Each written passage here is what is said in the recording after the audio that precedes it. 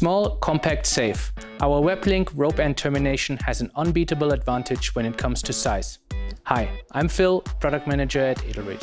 With the WebLink, a narrow polyester or Dyneema tape is sewn to the end of the rope. The resulting end termination is protected against wear by either a shrinking tube for our arborist ropes or a rubber protector. The rubber protector has an inspection window to check whether the carabiner is assembled correctly. If the carabiner has been threaded correctly, you will see the white or green tape in the inspection window. Otherwise, the carabiner will be visible. Additionally, the rubber protector keeps the connector in position and thus helps to avoid unfavorable cross-loadings.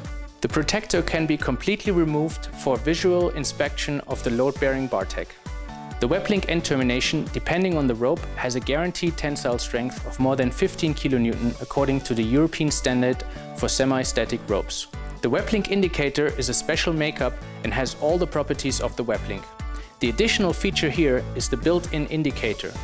If an impact force of more than 6 kN occurs, a red indicator strip appears in the inspection window. This is an unmistakable sign that the system has been subjected to a high load and that the rope must be replaced.